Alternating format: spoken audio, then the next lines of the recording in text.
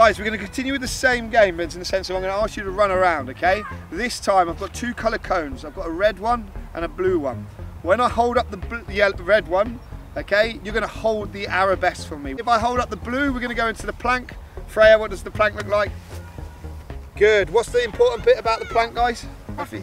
Nice, strong, straight back, okay? So we're going to be running around. I will call it to start off with okay? But then I want you to start to look out for the colour cone. If you see me raise it, but I haven't said anything, then you, and you're first to get there, then I'm gonna give you a point to get into that position, okay? We'll see who can get to three first, all right? Happy with that? So running around, let's go.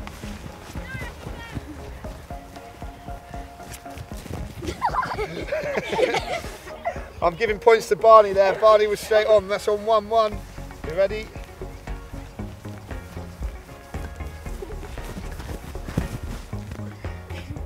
Good work. Right, hold it there, guys. Stay down for me.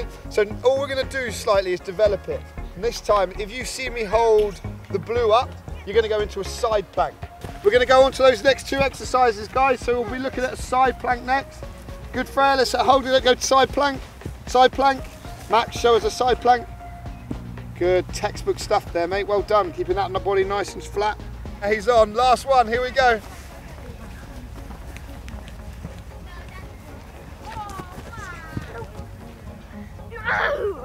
Good stick. Matthew, I'm going to give you that one. Good work, guys. Well done. Just bring it in for me.